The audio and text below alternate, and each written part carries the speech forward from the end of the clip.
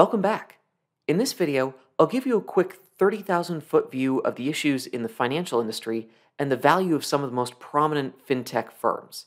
I'll start by discussing some of the biggest changes happening in the financial sector. Then, I'll describe some of the biggest gaps in this sector. And then finally, I'll introduce some of the largest fintech firms and the value they provide to consumers and other firms. So, what are the biggest changes impacting the financial industry? Well, here's a list that is by no means exhaustive. I'll discuss each of these issues in turn and describe how fintech is evolving to address these issues. So let's start out with the most obvious change technological innovation. Innovation has meant that firms are now able to offer products and services that they weren't able to offer even a few years ago. We have smart devices that can communicate with the internet and provide a more user friendly experience to consumers. A good example of this is the improvement in drone technology in the last decade, which can be used by hedge funds and other investors to predict sales revenue of firms. Several investors have famously used drones to calculate the number of vehicles sitting in parking lots and then use that data to estimate the number of customers shopping in department stores and made investment decisions based on that information. Now, one of the most important drivers of technological innovation in the last 60 years has been Moore's Law. And Moore's Law is a very famous estimation by Gordon Moore, stating that the number of transistors on a microchip doubles every two years, though the cost of computers is halved. This has led to a massive reduction in the cost of extremely powerful microchips for years. However, Moore's Law could be coming to an end for one very important reason. Transistors are now so small that we're butting up against the size of an atom.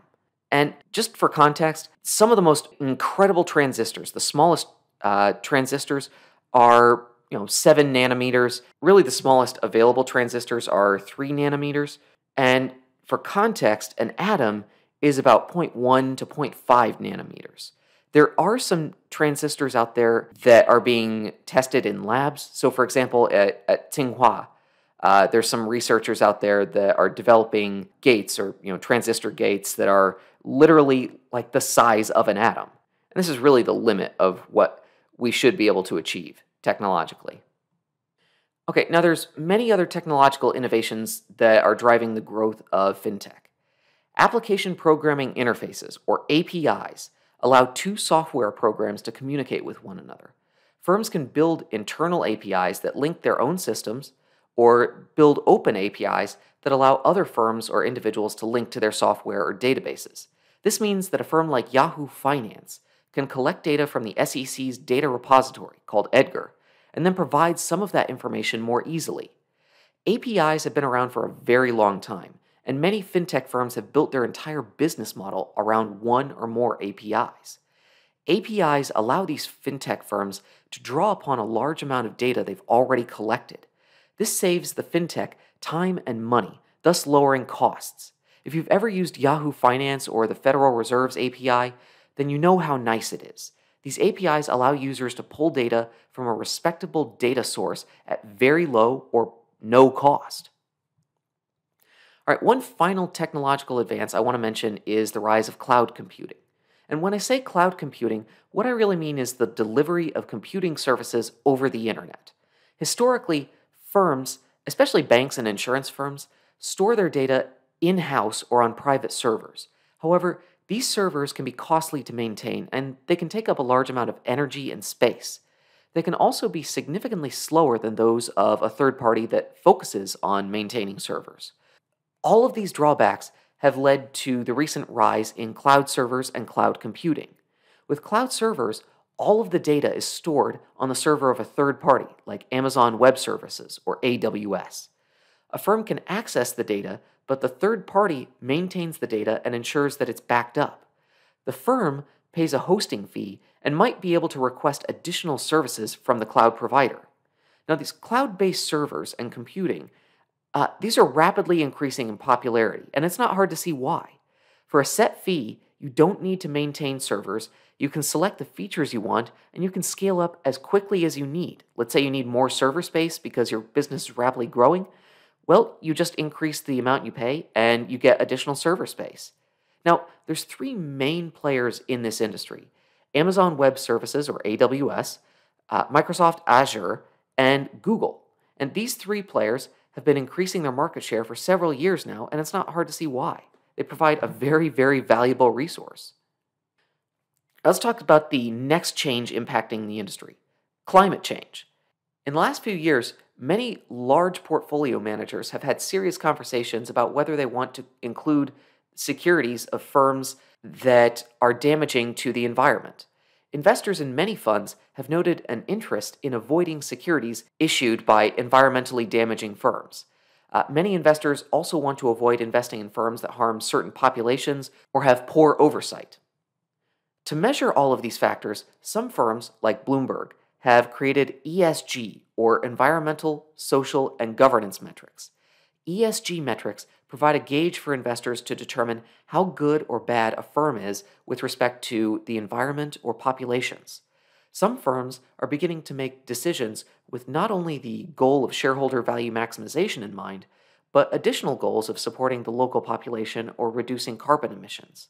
In fact, CEOs of many of the largest firms in the world have discussed moving from a shareholder value maximization objective to a stakeholder value maximization objective, which focuses on maximizing the value to every stakeholder of the firm, like the firm's employees, the communities where it produces goods and services, its suppliers, and its buyers. And this is a fairly admirable goal. Now, there is a dark side to this increased focus on ESG.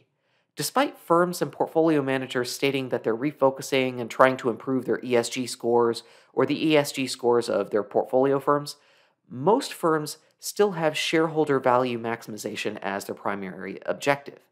This means that a lot of firms have been caught overstating how green their policies are. Firms like Google, Volkswagen, and Amazon have all been found to have overstated how environmentally friendly their operations are. This is what we sometimes call greenwashing, and it's a severe problem for investors who only want to invest in environmentally friendly firms, since it makes it difficult to tell who is trying to make their operations more environmentally friendly and who is lying.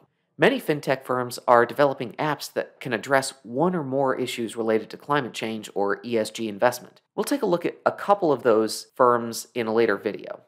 Another major shift impacting fintech is the change in demographics happening in some nations. Many developed nations are rapidly aging, while many developing nations are experiencing what demographers call a demographic dividend. This dividend refers to a very large proportion of working age adults in the overall population. One trend you're definitely going to see in later videos is that countries with a younger population are more likely to be receptive to new technology and services provided by fintech firms. Let's take a look at three examples the US, China, and Nigeria. So here is the global, what we call population pyramid. It breaks down the global population by percentages, and you know we have blue and red for you know, uh, female and male. And so what you can get a sense of is there's a smaller proportion of older people, very very old people, say 90 plus years old, and a larger proportion of people, say 5 to 9 years old, 10 to 14, etc. Now, let's take a look at the population pyramid of the United States. This is pretty standard for a developed nation, uh, certainly like a Western European nation. Notice here that we have some bulges here, so this would represent the baby boomer population. This would represent actually my uh, stage of life, so the uh, the millennials, and then we have a smaller population down here, 0 to 4, 5 to 9, etc. So people are having fewer kids. Now let's take a look at China. And here we see something pretty drastic. So with China, there's this massive bulge, you know, of 50 year olds to 60 year olds. You see a smaller bulge here. Again, they're um, millennials. But the problem is there's not that many young people. This is something that is absolutely horrific for countries like China, Japan. They have a rapidly aging population, and the population, the next generation coming up, is going to have to support them. Uh, you know, either by you know having their parents live with them, or you know support them financially uh, as they go through the latter stages of their lives. So this is actually, I mean, this is not a great thing, But, you know, China is going through a demographic dividend right now because a large portion of its population is working age. 10 years from now, you know, these baby boomers hope I mean I would expect a lot of them to be retired, and you know you, then you're going to have a much smaller working age population. All right, the last country I want to show you is Nigeria. And here we see something totally different. Nigeria is indicative of a lot of developing nations. I mean, here it's pretty obvious. I mean, they have a massively growing population. Uh, I mean, it's just unbelievable the, the growth rate in the population in recent years. I mean, Lagos in Nigeria is one of the, I mean, it's one of the largest uh, cities on earth at this point.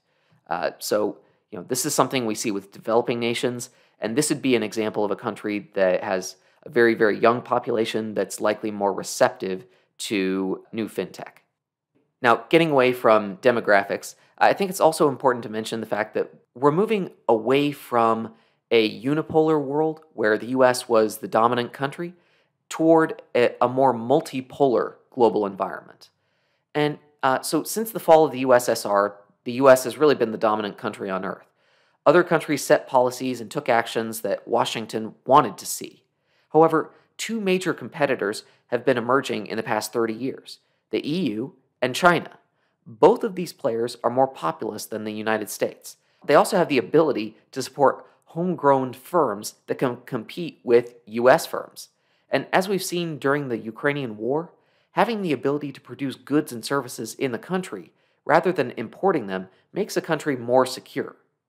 Uh, the US Congress recently passed the CHIPS Act, which was designed to support the local manufacturing of semiconductors rather than being reliant on a supply chain that exists in Japan, Taiwan, mainland China, and other countries. Uh, other countries, notably China, have begun to ensure that they have a regional supply chain to produce goods to support national defense. So the big takeaway here is that there's been this regionalization of supply chains as you know we're coming out of COVID. Uh, firms and governments realize that well, really, it's if you if your supply chain is spread out over many countries and there's a blockage in one country, your inputs for your products that you're producing will be stalled. All right, going along with you know this this multipolar environment, uh, it's important to note that many countries also support state-owned enterprises or SOEs, and SOEs are firms that are at least partially owned by a government. These firms often have a shareholder value maximization objective, but they can also support the objectives of a government that supports them. For example, when former Treasury Secretary of the United States, Hank Paulson, worked for Goldman Sachs in China, he noted that many SOEs employed six times as many people as they needed. And obviously, governments have this high employment objective, and this can run counter to a shareholder value maximization objective. So, SOEs in many countries, they employ far more people than they should, you know, or that is efficient. And so there's this, this kind of mixed bag with SOE. They do receive a large amount of government support, either through favorable legislation or uh, capital infusions, but they often employ far more people than they really should, and this can actually hurt their bottom line. All right, now the final major issue I want to briefly mention is resource scarcity. Many resources are becoming more difficult to acquire. In recent years, the demand for rare earth elements like lithium and cobalt has also skyrocketed, and unfortunately, there are very few places on Earth to find these minerals. This means that the lithium and cobalt that are used in batteries and solar panels often come from places with spotty human rights records like the Congo or China's Xinjiang province. Water access is also an increasing concern. As we've seen this year, drought can have enormous consequences for populations, leading to civil unrest and population migration. Recently, the Chicago Mercantile Exchange introduced water futures, which allows traders to acquire an amount of water at a set price to offset the uncertainty of the price of water. Unfortunately, the use of futures to provide such a basic resource is likely to become much more common in the future.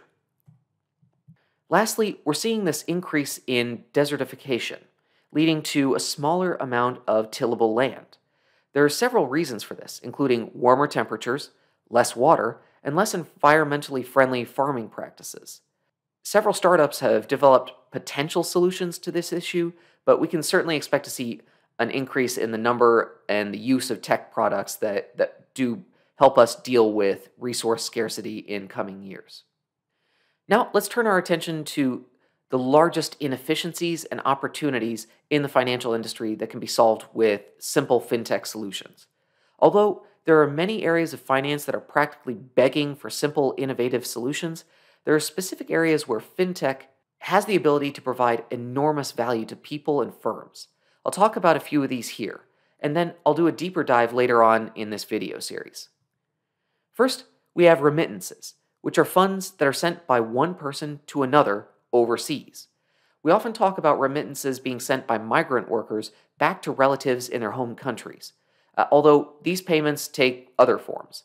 Uh, now, the remittance industry is extremely costly in percentage terms, so historically, Western Union was one of the main ways an individual could send funds over long distances. However, the World Bank conducted a recent survey and it found that the average cost for Western Union and its competitors to send $200 from one person to another was about $13 or 6.84%. And that's pretty high. Now, there are many substitutes or potential substitutes for Western Union and its products. The most obvious substitute would be cryptocurrency. A cryptocurrency like Bitcoin allows individuals to send funds from one digital wallet to another in a few minutes at a fairly low cost in percentage terms. The funds are added to the wallet immediately, and the sender can verify that the payment occurred. So, cryptocurrency, despite all of its other issues that we'll talk about in other videos, it does have some significant benefits with respect to remittances. Another area that's ripe for change is the financial advising industry. This industry is going through a transformation with the rise of robo-advisors, which are financial planning tools that provide automated advice at a fraction of the cost of traditional financial planners. There are many examples of robo-advisors, like SoFi, Wealthfront, and Betterment. I'll go through an analysis of each of them in a later set of videos. However, robo-advisors aren't appropriate for everyone. They tend to provide a one-size-fits-all recommendation, and they don't allow clients to specify unique or unusual financial goals. This is why a traditional financial planner is often better for people with more disposable income or higher net worth. Another area where there's been a lot of financial innovation in the last two decades is microloans. A microloan is a small loan made to an individual or a firm. These are often smaller than $500. So, for example, a microloan might be offered to an Indian farmer so they can buy a piece of equipment that dramatically increases the amount that they can till. Now, these loans are often risky, and the people receiving them often don't have a long credit history. So, microloans are often not provided by traditional financial institutions. In many cases, it's nonprofits that are servicing these loans. Even today, uh, you have firms like Kiva. Now, the growth of microloans was kicked off by a company called Grameen Bank. Uh, now, Grameen was and still is a Bangladeshi firm that began offering microloans in a fairly unique way by using social pressure to incentivize people to repay their loans. And I'll do a deeper dive into Grameen in one of my next videos, so I'll hold off the deeper discussion just for a little bit. Uh, but, you know, they've done great work, and Muhammad Yunus, who uh, founded the bank, I mean, he won the Nobel Prize in 2006 for this work. One final area that we're seeing massive changes in is the banking industry. Now, there's many competitors opening new banks and stealing potential deposits and capital from traditional banks. We often call these new competitors that provide these products and services but don't operate like traditional banks uh, either neobanks or challenger banks. A good example of a neobank or a challenger bank is SoFi. Now, SoFi offers customers practically every financial service that a traditional bank would offer. The firm rose to prominence by offering student loans. And over time, it's built out its financial products. It now works with partner banks to offer a checking account and a savings account. Uh, the partnership between SoFi and banks like MetaBank, Hills Bank, and Wells Fargo is fairly common. And many traditional banks are starting to work with neobanks and challenger banks in order to reach new customers. Now, the banking space is rapidly becoming more hotly contested, with several tech firms like Google and Apple trying to offer financial products. The difficulty that banks face is the wealth of consumer data that these tech firms have, which represents a competitive advantage for them.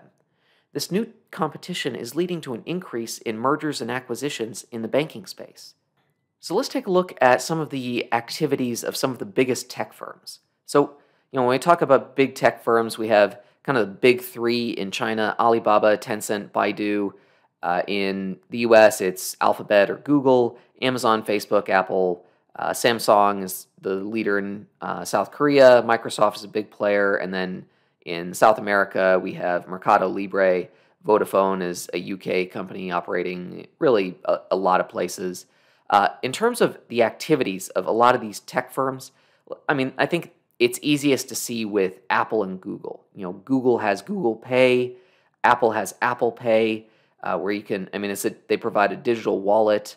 Uh, other companies like Amazon are starting to roll out uh, actual lending services to their clients. So if you need to get a loan, uh, maybe you need to borrow money to pay for something on Amazon. Well, you might be able to get a loan. Maybe if you don't need to borrow that money for you know an Amazon purchase, you can still get that loan. Now, other tech firms around the world are offering other products. So, I mean, I, I won't really mention it too much beyond this, but Alibaba, which we'll certainly talk about uh, later in this class, they have asset management services in the form of Yue Bao. And this is essentially the world's largest money market fund. Uh, so, uh, a fund that you can put your money in and earn very a very small amount of interest on. Money market funds are typically, uh, you know, they hold a portfolio of short-term assets, and then there's a huge amount of insurance products being offered by by uh, big tech firms. So you know you can get an insurance policy from, I mean, basically everything you see here. Okay, now I think it's important to also mention a couple of companies that up until recently or or over the last year or so have become incredibly prominent. Uh, so I took this data as of June 2022. Uh, some of these companies have gone defunct. I think the one that everyone's immediately going to recognize here, FTX. So right now, FTX is worth, well, zero. And this is, I, I think, one of the big issues with a lot of these big fintech firms is that, you know, for their valuations blew up. I mean, people were very bullish on them, and some of them, there, there was a lot of hot air. There was, or in some cases, in uh, in the case of FTX, just outright fraud. Okay, so uh, let's start with Stripe. So Stripe, uh, this is a payment platform. They uh, essentially allow you to use this. They use a series of APIs, and they allow businesses to monetize their services. So, for example, uh, if you've ever used Lyft, the the payment technology used by Lyft is is from Stripe.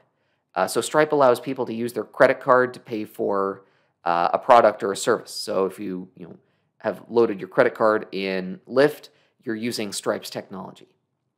Klarna uh, this is one of several different buy now, pay later firms, so BNPL firms. Uh, this allows you to buy a product on credit. So you pay essentially over four payments. So, you know, feel free to take a look at this at your leisure. But there's all kinds of other uh, companies like this.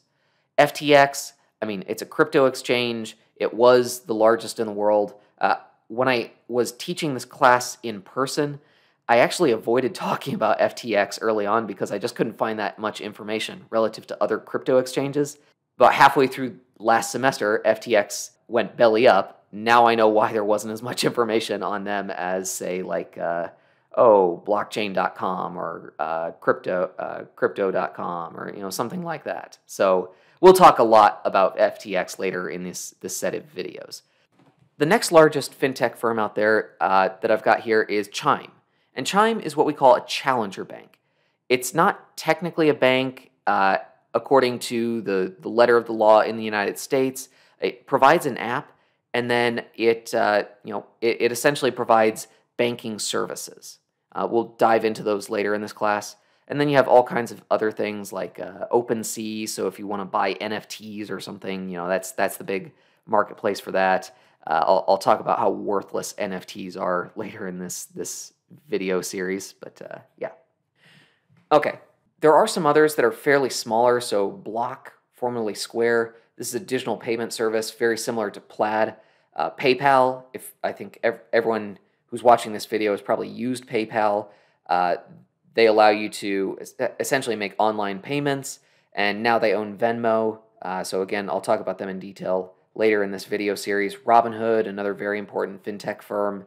Mint, it's something that I use uh, on my own personal behalf. And then Coinbase is another crypto exchange. It's actually far better than FTX was. Hindsight bias bears that out. okay, now before I wrap up this video, I wanted to discuss a few traditional firms that were investing in fintech. However, as I looked for good examples, I found that practically every single blue chip financial firm has made or is in the process of making some investments in fintech. Uh, for example, Goldman Sachs is acquiring several fintech firms. Visa has a fast track program that allows startups to work with them and then access Visa's credit card network. American Express is offering something similar. And so the best thing that I can say about traditional financial firms making tech investments is that everybody is doing it, and they're doing it in slightly different ways, but there's this massive investment on behalf of traditional firms into fintech. So maybe it's best that I, I cut off that discussion for right now. So let's summarize. There's a huge number of factors driving fintech adoption. I think the most prominent ones are the ones I discussed. So climate change, geopolitical issues, technological adva- advancement, demographics, and resource scarcity. Uh, I also talked about the largest fintech firms and some of the products they offer, uh, and then also the lines between traditional financial firms and fintech firms ha- have really been blurred in recent years as traditional financial firms acquire fintech firms and start to incorporate that new technology into their own operations. So with that, I'm going to bring this video to an end, and I hope you enjoyed it, and feel free to reach out if you have any questions. Thank you.